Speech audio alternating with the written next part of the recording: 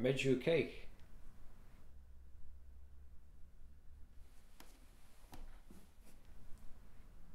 You remembered. Of course.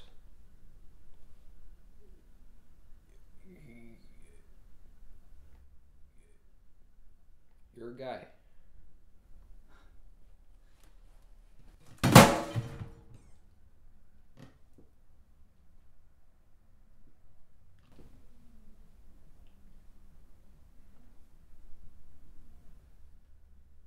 That's a brand new garbage can. Ladies and gentlemen, thank you so much for watching our sketch Garbage Cake. Uh, we worked really hard on it and uh, we really appreciate it. But it wouldn't have been possible without a few people who we'd like to take the opportunity now to thank.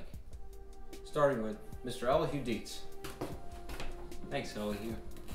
Before we, we gave Elihu the sketch, it was just a few words on paper. But Elihu got award winning performances out of us that we didn't even know we were capable of. And on top of that, he produced the whole thing. So good for you, Elihu. Please hold all your applause till the end. Because we still got to thank Eddie Brawley, our headset designer. You may think we're in a tiny apartment in New York, but actually we're on a huge studio lot in LA right now. Thanks, Eddie. And also our cake baker, Nick Johnson. We really considered the cake the third actor in this sketch, and when we told Nick that we needed a cake that was deft, daffy, and complex, he knew exactly what we wanted and he delivered the goods. Please hold all applause till the end. Thank you. Because we still got to thank Robert Dean on cue cards. Not really funny, but it's cute. Aww. And also, our legal consultant, Eric Grundhauser. When people see a hot sketch like Garbage Cake, they just want to steal it and pass it off as their own. That's why we got this guy here to protect our intellectual property. SNL might definitely try and steal this one. Also, our dietitian, Will Gallagher. When we started off writing this sketch, Dan and I weighed a combined 600 pounds. Will put us on a liquid diet and got us down to funny fighting weight. Thanks, Will. And Carlisle.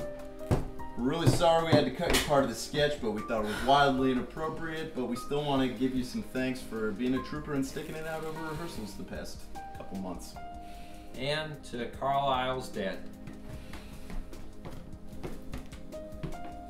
I am so disappointed in you, Carlisle. Please hold all applause till the end. Because we still got to thank our ventriloquist, Neil Stasny. And our stunt coordinator, Alex Khurgin.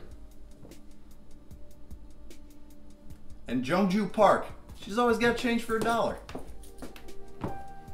Trish Gray. She wears shorts, even in the winter. Except for today, because I just had laser hair removal and my legs are very tender.